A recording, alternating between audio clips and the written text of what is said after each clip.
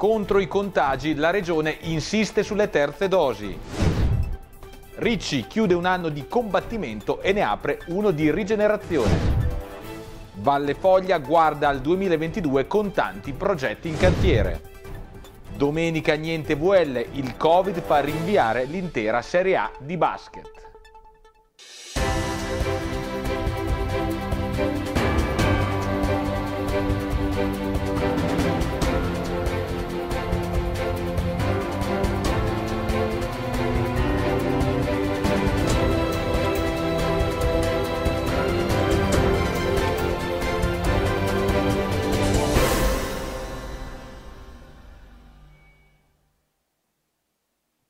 Una buona serata a tutti voi telespettatori e telespettatrici di Rossini TV, ben ritrovati a Rossini News, il nostro telegiornale serale l'ultimo TG di questo 2021, TG che tornerà, ve lo ricordiamo già, il 3 di gennaio. E in questo ultimo notiziario di dicembre apriamo anche oggi aggiornando purtroppo un nuovo record di contagi. Dopo i 1707 casi di ieri, il Covid-19 nelle Marche raggiunge oggi quota 1814. Va detto però che si abbassa la percentuale di tamponi positivi dal 18 al 16% di fronte a un'imponente giornata da oltre 15.000 test processati. Sono 275 i casi invece registrati in provincia di Pesaro Urbino. L'incidenza da contagio schizza 486 casi settimanali ogni 100.000 abitanti. Si arresta però l'ascesa dei ricoveri. Oggi se ne contano 260, ovvero uno in meno di ieri, stazionari i 43 casi in terapia intensiva. Anche oggi invece purtroppo 7 decessi, 5 donne e 2 uomini di età compresa fra 71 e 105 anni. E dunque, come avete ascoltato, non si arresta la violenza di questa quarta ondata di Covid-19 e la Regione Marche fa scudo rilanciando sull'accelerata in merito alle terze dosi di vaccino. Si punta a somministrarne 16.000 al giorno nel mese di gennaio. Una macchina che sarà potenziata anche a livello di tamponi dedicati agli studenti per scongiurare la didattica a distanza. Sono queste dunque le priorità stilate oggi dall'assessore regionale alla sanità Filippo Saltamartini in occasione della inaugurazione ad Ancona di un nuovo punto tamponi dedicato alle scuole ed allestito dalla Marina Militare. I temi principali sono essenzialmente tre. Il primo, la necessità di vaccinare 450.000 eh, marchigiani eh, nel mese di gennaio, un'opera imponente, dobbiamo vaccinare 16.000 persone al giorno perché con le nuove norme per cui il, il, il, la copertura vaccinale eh, si esaurisce dopo quattro mesi dalla seconda dose c'è questa emergenza, quindi dobbiamo potenziare tutte le linee vaccinali e vaccinare appunto 16.000 eh, persone al giorno per raggiungere appunto la copertura totale con la terza dose di tutte le persone che appunto devono essere vaccinate. Allestiremo anche uno slot eh, con dei funzionari chiamati a rispondere anche eh, della necessità di riprogrammare le vaccinazioni, cioè eh, le persone che si sono prenotate, che sono state spalmate dal sistema poste a febbraio, marzo e addirittura ad aprile, dovranno tutte essere riconvertite per la vaccinazione di gennaio e quindi chi non dovesse essere contattato, non certo oggi o domani, ma nella prossima settimana, nei prossimi dieci giorni dall'ASUR, ecco, deve chiamare il numero verde e chiedere la ricollocazione a gennaio. Quindi diciamo che il sistema è imponente, vaccinare 450.000 persone, che non è una passeggiata, lo voglio sottolineare, nessuna regione ha un programma così imponente in un mese. Il secondo tema è la riapertura in sicurezza delle scuole. Eh, come sapete il, il, governo ieri ha emanato un decreto legge, eh, deve essere ancora pubblicato in gazzetta ufficiale, io non l'ho visto ancora, che prevede però delle misure importanti, cioè le persone vaccinate, ancorché positive, se non hanno sintomi, non sono sottoposte sostanzialmente al contact tracing, il che significa che l'area di verifica per la sanità pubblica sarà, eh, interesserà le persone disabili, persone che hanno delle patologie e le persone non vaccinate. E quindi stiamo allestendo sostanzialmente un meccanismo per eh, un triage eh, attraverso la, i tamponi per gli studenti perché noi non possiamo non garantire le lezioni frontali. Come sapete la Regione Marche ha eh, organizzato e potenzierà lo strumento della purificazione dell'aria del, dell nelle, nelle, aule. Eh, questo, questo esperimento che noi abbiamo avviato un anno fa su proposta dell'assessore Latini del collega Baldelli ha evidenziato un elemento straordinariamente importante, cioè nelle scuole dove c'è il purificatore d'aria non si sono verificati casi, c'è stato un solo caso positivo e, e la positività non si è trasmessa agli altri studenti, quindi stiamo lavorando in quella direzione e questo eh, meccanismo delle marche è stato preso un po' in considerazione a livello internazionale.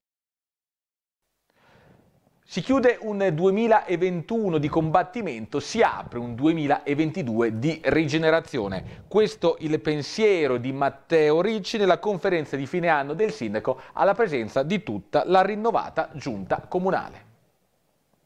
Cala il sipario su un anno di combattimento. Etichetta che il sindaco di Pesaro Matteo Ricci affibbia nel penultimo giorno di un 2021 di costanti battaglie generate dal fronte sanitario dalla lotta al Covid alle strutture ospedaliere fino alle ripartenze di attività lavorative e turismo dopo le restrizioni da pandemia.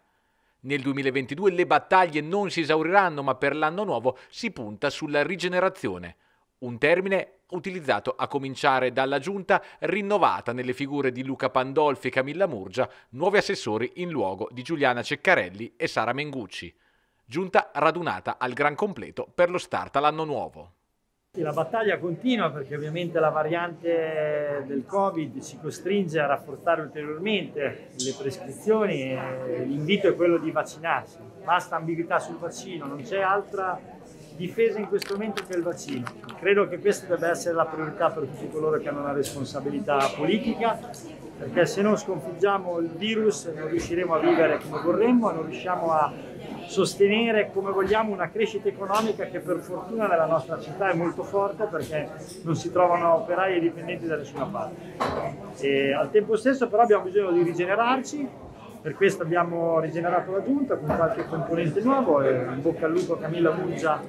e a Luca Pandolfi grazie a Giuliana Ciccarelli e a Sara Menguzzi per il grande lavoro svolto e abbiamo rivisto un po' di deleghe perché abbiamo bisogno, come ho detto i, uh, oggi in giunta, degli occhi della tigre, non so chi di voi si ricorda di Grocchi Balboa, abbiamo bisogno degli occhi della tigre perché non è una fase ordinaria, è una fase straordinaria nella quale abbiamo bisogno di dare tutto noi stessi per servizio di una comunità che deve combattere e al tempo stesso rigenerarsi, rigenerare l'economia, mettere a terra una mole infinita di risorse per gli investimenti che abbiamo ottenuto e che otterremo e cercare il più possibile di rimettere in moto anche il turismo, la cultura, con un occhio particolare, come sempre stato per il nostro territorio, ai più deboli, alla scuola e all'ambiente. Quindi queste sono le priorità che abbiamo nel, nel 2022 con tanti dossier aperti. Tematiche sanitarie al centro dei pensieri di Ricci, a cominciare dal perdurante stato di sofferenza del pronto soccorso sollevato dal primario Umberto Gnudi. La risposta non può essere quella di, dire, di far dire a tutti gli primari che le cose vanno bene, perché la risposta deve essere quella di dargli velocemente il personale e deve essere quella di far funzionare insieme il pronto soccorso con il resto dell'ospedale. La sostanza è che non si può andare avanti con un ospedale che ha un pronto soccorso così intasato con personale sanitario che da troppo tempo è sotto stress, che ha bisogno di un rafforzamento e di un'organizzazione differente. Ospedale attuale e ospedale nuovo, un altro tema centrale del 2022 che sta per partire. Il nuovo ospedale è un impegno importante che la Regione Marche ha preso, non è il nuovo ospedale che avevamo in mente noi, però almeno è un passo avanti per una struttura nuova e adesso dobbiamo entrare nel merito, perché il fatto che sia stato scelto e finanziato è positivo, Adesso dobbiamo entrare nel merito col Presidente Quaroli sul cronoprogramma e sul contenuto del contenitore. Per noi è imprescindibile l'azienda sanitaria perché senza azienda ospedaliera non avremo le eccellenze che servono e ovviamente vogliamo discutere anche di come questo nuovo ospedale eh, si relazionerà con il resto del territorio e con la struttura di Fano che rimane e che di conseguenza diventa fondamentale per l'azienda eh, Marche Nord. Alla presenza di tutti gli assessori, Ricci ha analizzato ogni delega, da un bilancio che si chiude con una gestione virtuosa al tour dei quartieri che ha presentato sì problematiche ma non emergenze, fino ad una sicurezza che nell'anno nuovo si vuole potenziare su un triangolo compreso fra Miralfiore, stazione ferroviaria e centro storico fino al conservatorio, quello che a detta di Ricci concentra le maggiori criticità di criminalità. E infine le opere pubbliche, in particolare Ricci si è soffermato sul vecchio Palace, il cantiere che più lo preoccupa e che necessiterà di una nuova gara d'appalto per il completamento. Sul vecchio Palace abbiamo, continuiamo a avere dei problemi, eh, però è una struttura che per fortuna abbiamo coperto, quindi il grosso dei lavori strutturali è stato fatto, adesso dobbiamo fare dei lavori di completamento e fare nel più breve tempo possibile perché è una struttura fondamentale per noi, quindi un cantiere che ha avuto diversi problemi ma che dobbiamo assolutamente nel 22 completare e inaugurare. E dunque conosciamoli due nuovi assessori del comune di Pesaro che faranno parte della squadra di Matteo Ricci nel 2022. Ascoltiamo le prime parole da assessori di Camilla eh, Murgia che eredita da Giuliana Ceccarelli l'assessorato alla crescita e di Luca Pandolfi che eh, si occuperà dell'assessorato alla solidarietà dopo i saluti di Sara Mengucci. L'emozione di questi giorni è ancora molto viva, sono molto onorata di ereditare tutto il lavoro altissimo che ha fatto Giuliana Ceccarelli in questi anni e sono ben consapevole, come diceva il sindaco, che il tema della scuola è un tema caldissimo. Si giocherà tutto nelle prossime settimane, il rientro a scuola e la nuova fase della pandemia che speriamo sia in diminuzione ma i dati non ci rassicurano al momento sarà uno dei miei primi interventi e azioni sicuramente da assessora. Un altro tema però che ho molto a cuore è quello delle pari opportunità e sicuramente del contrasto all'odio, quindi mi vedrete molto impegnata anche su queste tematiche che da sempre porto avanti prima da consigliera e poi adesso da assessora sempre con più convincimento. È un assessorato importante, eh, sono consapevole della responsabilità eh, del lavoro che dovrò fare e ringrazio il Sindaco per la fiducia e ringrazio giustamente l'assessore Sara Mengucci per il lavoro fatto in questi anni che è riconosciuto da tutti. E ho sempre creduto eh, nell'importanza di lavorare eh, di squadra e in gruppo e quindi so che potrò contare su eh, degli uffici con delle persone competenti, in Consiglio Comunale che eh, soprattutto la maggioranza ha la tradizione di essere sensibile a queste, alle tematiche eh, sociali, eh, tant'è che abbiamo investito negli ultimi anni molte risorse e, e tutto il mondo del terzo settore che lavora nel, e fa volontariato eh, in questo settore che a Pesaro è una grande ricchezza ed è molto forte, quindi eh, lavorerò di squadra, eh, siamo pronti a continuare un buon lavoro che era già stato iniziato.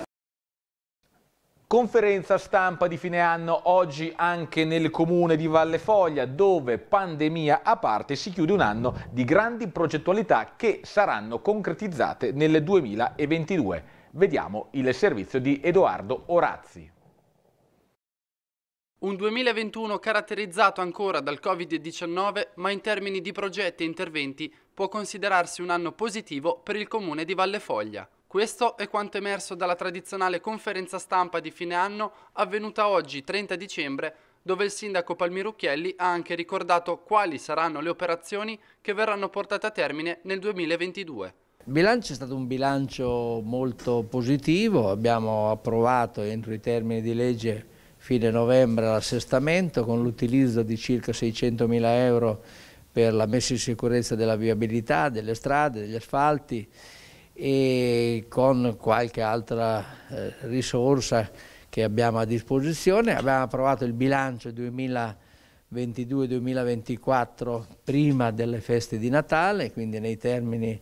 in cui l'approva la Regione e lo Stato, anche se per i comuni non è obbligatorio e abbiamo in corso un'infinità di, di, di, lavori, di opere pubbliche e devo dire in parallelo, forse ancora di più, delle aziende private, 50-60 mila metri di capannoni nuovi, di aziende leader nel mondo, per noi vuol dire centinaia di posti di lavoro del 2022. Eh, oramai in via d'ultimazione eh, la depurazione dell'asta fluviale del Foglia col secondo depuratore dopo quello di Borgheria, ed è in programmazione un terzo in località Schieti probabilmente da realizzarsi a breve anche quello, quindi con una depurazione di tutta l'asta fluviale, grande operazione ambientale mai avvenuta in questi 30-40 anni. E stiamo 2022 ultimando i lavori della depurazione e della meternizzazione di Colbordolo Monte e di Montefabbri. Abbiamo in corso i lavori del comune che dovrebbero finire a, diciamo, entro la prima eh, metà del 2022 e poi abbiamo in corso il nuovo teatro, già iniziati i lavori, abbiamo in corso diciamo, in via d'approvazione anche il nuovo programma di opere pubbliche, in particolar modo sono 7-8 anni col 2022 che mettiamo 500-600 mila euro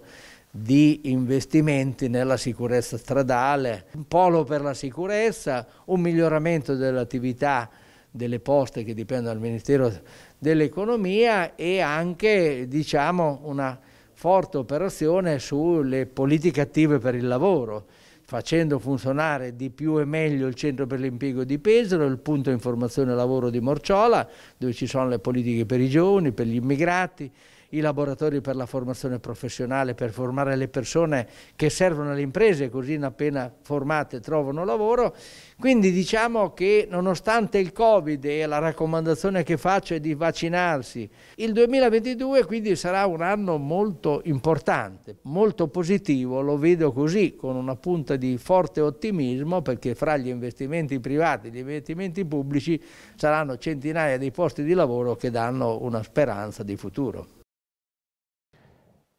È morto Cesare Coffanelli, ex agente della Polizia di Stato e uno dei fondatori del coordinamento pesarese di Fratelli d'Italia. Oggi tanti eh, messaggi di cordoglio e di vicinanza alla famiglia sono arrivati da parte di tantissimi esponenti della politica del centrodestra cittadino. E sull'onda del Natale che ci siamo appena lasciati alle spalle continuiamo a ritagliare un nostro spazio dedicato, dedicato alle belle notizie di altruismo. È il caso della Onlus Gulliver che oggi ha donato uno scivolo e due altalene per riqualificare il parco giochi di Pantano in via Abba. Si tratta dell'ennesimo parco riqualificato attraverso il progetto Altro Giro. Oggi sono due giochi, sono uno scivolo e due altalene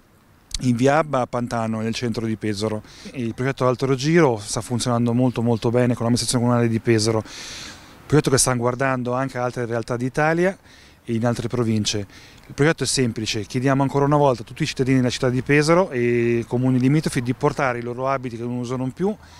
alla Gulliver, via Rossi, piazza Redi o via Toscana 111 noi questi abiti in parte li doniamo alle famiglie bisognose, siamo l'unico centro provinciale di donazione e di raccolta, e in parte li vendiamo nelle nostre botteghe del riuso. Con il ricavato poi acquistiamo questi giochi o facciamo altri progetti con le scuole, con gli ospedali o con il comune. È importantissimo per tutte le persone di Pesaro e i comuni limitrofi non buttare via gli abiti, non buttate nei cassonetti per strada, buttate lì quelle cose da buttare, le cose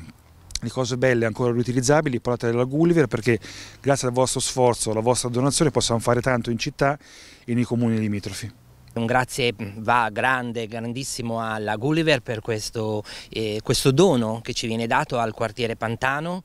eh, rivalorizziamo uno dei parchi di Pantano dando nuovi giochi per i bimbi, tra l'altro questo è un parco molto frequentato, stato, era stato un po' dimenticato e adesso finalmente riprende valore con i nuovi giochi, le panchine erano già state riverniciate quest'estate con un progetto finanziato dalla regione e, e poi andremo anche a risistemarlo con le altre panchine rimanenti. Benissimo così, andiamo avanti, ne faremo altre nel quartiere, quindi ci saranno altre novità del quartiere per eh, renderlo sempre più bello e questo parco naturalmente con i giochi per i bambini e con eh, la verniciatura delle panchine, con tutto quanto sarà sicuramente ancora più frequentato Sarà un 2022 che inizia in musica con il doppio concerto di Capodanno organizzato dall'Orchestra Sinfonica Rossini. Il primo gennaio alle 17 al Teatro della Fortuna di Fano e poi alle 21 al Teatro Sperimentale di Pesaro. Orchestra Sinfonica Rossini che si esibirà con un concerto dedicato a Shostakovich e allo schiaccianoci di Tchaikovsky nella doppia performance del violoncello di Giovanni Gnocchi diretto da Daniele Agiman. Li abbiamo intervistati entrambi ai margini delle prove allo spettacolo tenutesi al Teatro Sperimentale. Siamo al Teatro Sperimentale di Pesaro, uno dei due luoghi di questo doppio concerto di Capodanno con Giovanni Gnocchi e il suo violoncello, i due grandi protagonisti di questo doppio appuntamento. Per me è un grandissimo piacere essere di nuovo qua a Pesaro per un rapporto particolare che mi lega al territorio e proprio al calore umano delle persone dell'Orchestra Rossini e una grandissima stima e riconoscenza col maestro Daniele Agiman che sarà il direttore d'orchestra per questi due serate e due concerti. E io suonerò il primo concerto di Dmitri Shostakovich un brano composto nel 1959 in Russia a Mosca e potrei dire è proprio un brano che ha, vede il trionfo del ritmo è un brano che ha una parte importante, molto martellante e in cui è, è, impossibile non danzare, direi quasi heavy metal, direi, direi, come brano, però nel contempo abbiamo anche la parte centrale del concerto di Shostakovich dove il calore umano e il dramma e questa malinconia struggente fa ben comprendere anche la difficile situazione che vivevano i musicisti e i cittadini negli anni del, del regime sovietico e di tutti i divieti che, che erano imposti e attraverso i quali loro potevano cercare una strada nonostante questo per esprimersi. Quindi è un brano, diciamo, coinvolgente al 100% e che il pubblico si ricorderà per sempre. Ecco, il concerto di Capodanno è poi sempre una collocazione particolare, speciale, apre un anno che si spera diverso, soprattutto per voi musicisti. In questi giorni siete quasi dei superstiti tra le cose che si possono e non si possono fare. Io devo dire mi sento moltissimo fortunato perché appunto stavamo dicendo io vivo a Salisburgo in Austria e in Austria da fine novembre, dal 17 novembre c'è stato un lockdown totale, cancellati tutti i concerti fino a metà eh, dicembre e a Salisburgo è una, è una, delle regioni più colpite, per cui appunto è un grandissimo privilegio che noi abbiamo qua in Italia di poter continuare a fare musica con, con l'orchestra, con l'organico completo, distanziati, ma in una situazione del genere benvengano le mascherine, benvenga il distanziamento e veramente godiamoci questo lusso che condividiamo con grande piacere, con grande amore col pubblico. Daniele Agiman, ultimi preparativi qui al Teatro Sperimentale per quello che è il concerto di Capodanno, un momento che già di per sé è speciale, il Capodanno ha sempre una collocazione particolare anche a livello musicale, ma è anche proprio una partenza per Sinfonica 3.0. Sì, una grande partenza, un programma importante a Pesaro, con la difficoltà che sappiamo, riparte insomma la situazione sanitaria non facilissima, ma noi abbiamo voluto scommettere su figure nuove in orchestra, eh, direttori nuovi, giovani, programmi sempre molto ambiziosi, a partire proprio da quello di Capodanno. L'Orchestra Sinfonica Rossini vuole offrire al suo pubblico, che un pubblico attento, partecipe, anche quando le sfide sono le più grosse, come questo concerto di Capodanno, proponiamo un concerto, quello di Shostakovich, che non è proprio facilissimo all'ascolto, ma è una grande scommessa perché sappiamo che abbiamo un pubblico fedele, amico e partecipa alle nostre proposte. Una scommessa che poi nasce su un doppio appuntamento. Assolutamente sì, Fano Pesaro e poi addirittura quest'anno abbiamo un'anticipazione fuori regione, quindi arriveremo rodatissimi, caldissimi con un nostro artista in residenza di cui siamo orgogliosi, Giovanni Gnocchi, un caro amico ormai dell'orchestra e la nostra migliore compagine. E concludiamo con lo sport. Domenica 2 gennaio la Carpegna Prosciutto Basket Pesaro non scenderà sul parquet della Vitrifrigo Arena contro l'Olimpia Milano. Oggi infatti la Lega Basket di Serie A ha deciso di rinviare a data da destinarsi l'intero prossimo turno di campionato a causa di una emergenza sanitaria a livello di contagi da Covid-19 che sta interessando la maggior parte delle società sportive e che ha dunque suggerito il rinvio precauzionale dell'intera quattordicesima giornata di campionato.